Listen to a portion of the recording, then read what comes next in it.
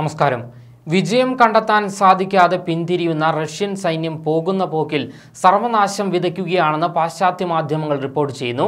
ഒരു യുദ്ധമല്ല നടക്കുന്നതെന്നും തികച്ചും നിന്ദ്യമായ ഒരു ആക്രമണമാണ് റഷ്യൻ സൈന്യത്തിന്റെതെന്നും അവർ പറയുന്നു.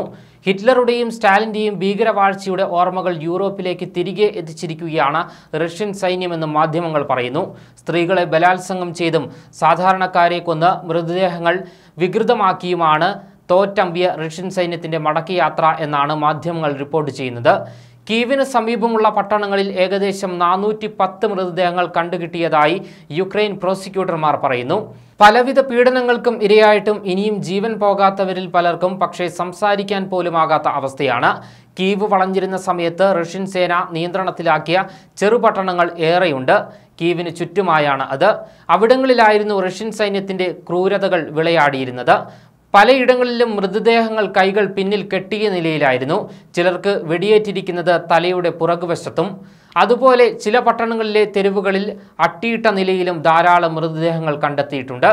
ജോസഫ് സ്റ്റാലിൻ റഷ്യ ഭരിച്ചിരുന്ന ആയിരത്തി തൊള്ളായിരത്തി മുപ്പതുകൾക്ക് ശേഷം ഇതുപോലൊരു പൈശാചിക വിളയാട്ടം കണ്ടിട്ടില്ല എന്നാണ് പഴയ സോവിയറ്റ് യൂണിയന്റെ ഭാഗമായ യുക്രൈനിലെ ജനങ്ങൾ പറയുന്നത്.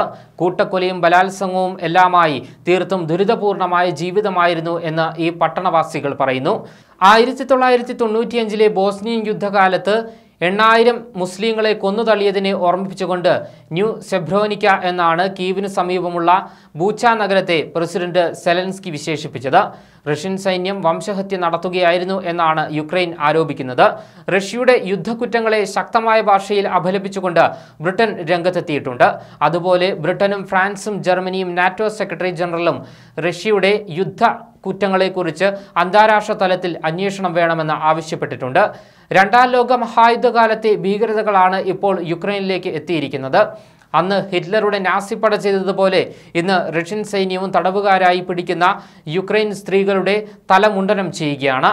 അതുപോലെ പ്രായപൂർത്തിയാകാത്ത പെൺകുട്ടികളെയും ഇവർ കാമപൂർത്തിക്ക് ഉപയോഗിച്ച നിരവധി സംഭവങ്ങളാണ് റിപ്പോർട്ട് ചെയ്യപ്പെട്ടിട്ടുള്ളത്. എന്നിട്ടും ഒരു ലജ്ജയുമില്ലാതെ റഷ്യൻ പ്രതിരോധ മന്ത്രാലയം ഇതെല്ലാം നിഷേധിക്കുകയാണെന്ന് പാശ്ചാത്യ മാധ്യമങ്ങൾ കുറ്റപ്പെടുത്തുന്നു. റഷ്യയെ അന്താരാഷ്ട്ര തലത്തിൽ അപമാനിക്കുന്നതിനുള്ള കെട്ടുകഥകളാണ് ഇതെല്ലാം എന്നാണ് റഷ്യയുടെ നിലപാട്.